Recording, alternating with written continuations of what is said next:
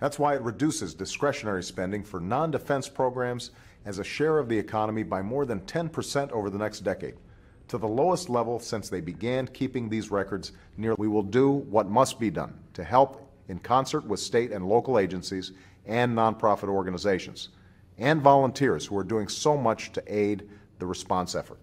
For a new report for the Business Roundtable, a nonpartisan group that represents the CEOs of major companies, found that without significant reform, healthcare costs for these employers and their employees will well more than double again over the next decade. Next week, I'll be meeting with owners of large and small businesses, labor leaders, and non for profit leaders from across the country to talk about the additional steps we can take to help spur job creation. That practice has kept the vast majority of those with PTSD who served in non combat roles, but who still waged war, from getting the care they need. So we need Congress to reform our federal sentencing laws for nonviolent and to reach more folks. We're working with partners in the academic, nonprofit, and private sectors that will help families use this new data to navigate the complicated college process and make informed decisions. But over the last few decades, we've also locked up more nonviolent offenders than ever before, for longer than ever. Many are nonviolent offenders serving unnecessarily long sentences. Many are serving unnecessarily long sentences for nonviolent crimes. Christian, Muslim, Jew, and non believer alike, all forged into common service. This year, we also addressed two other problems that keep workers and wages down the overuse of non compete agreements that hurt workers in the job market, and the unfair practices of companies that collude to set wages below the market rate.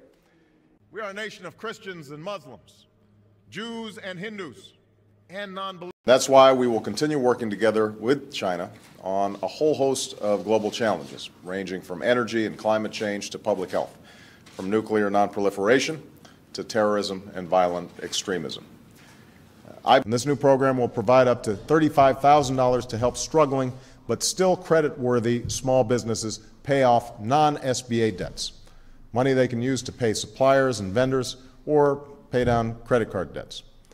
We have re-energized a global nonproliferation regime to deny the world's most dangerous people access to the world's deadliest weapons. I know there are many, Muslim and non Muslim, who question whether we can forge this new beginning. Over the next decade, non defense discretionary spending will reach its lowest level as a share of our national income since we began keeping records in 1962.